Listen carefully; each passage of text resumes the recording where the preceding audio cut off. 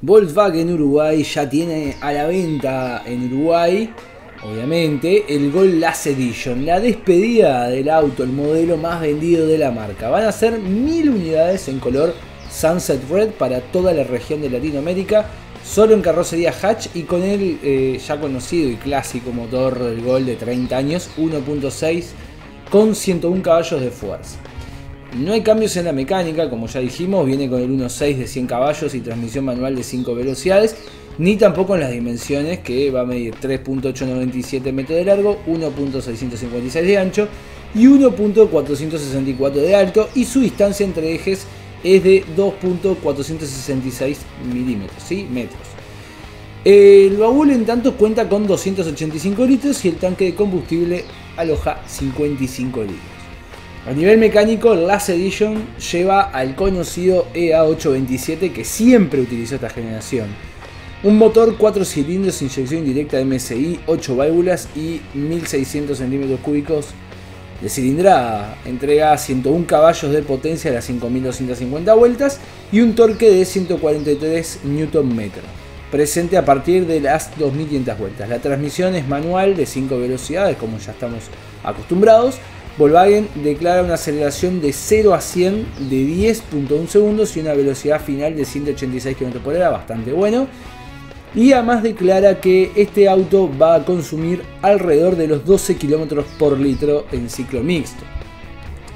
El esquema de suspensión se vale de una suspensión independiente tipo McPherson con resorte integrado en el tren delantero y en el trasero es independiente con nuevo eje integrado de perfil en B la dirección es mecánica y asistida eléctricamente, mientras que los frenos son de disco ventilados adelante y de tambor atrás. Tracción delantera y el peso de 1036 kilos.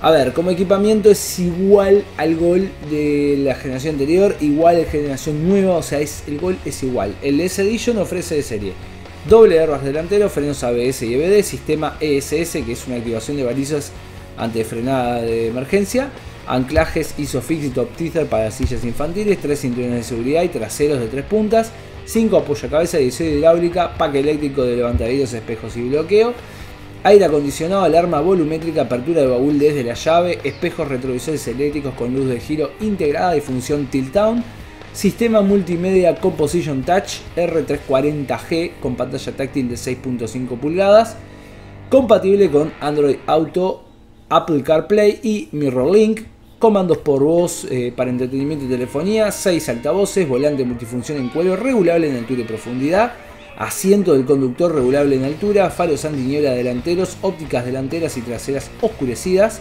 asientos delanteros tipo Sport, tapizados en cuero y tela bitono, sensores de estacionamiento traseros, Park Pilot, detalles, las editions por todos lados, eh, revestimiento de puertas, volantes, selector de cambios y alfombras, tiradores de puerta, techos, carcasa de espejos, retrovisores y spoilers en color negro, detalles estéticos exteriores Last Edition, emblemas y franjas laterales con la inscripción del modelo, placa identificatoria con el número de producción, ¿sí? que va de la 0000 a la 1000, y llantas de aleación de 15 pulgadas en color negro sobre neumáticos en medida 195 55 15. Ahora, sí, es el mismo gol. Pero ¿cuánto cuesta este gol? Bueno, este gol hoy en nuestro mercado está costando 21.990 dólares, 22.000 dólares, con dos años eh, de garantía sin límite de kilometraje. Lo mejor es la garantía. Ahora el precio está bien, está lindo el auto, pero hay que pagar lo que cuesta por, por esto. A ver, puntos a favor. Pocas veces pasa que un auto tiene una edición de despedida y mucho menos acá en Uruguay, ¿no? O sea, hay que ser conscientes y estar agradecidos del privilegio que tenemos. Así que, si sos fanático del gol eh, y querés tener uno, ¿sí? esta va a ser la mejor forma de despedir a lo grande. Los equipamientos de confort son correctos para el precio. ¿no?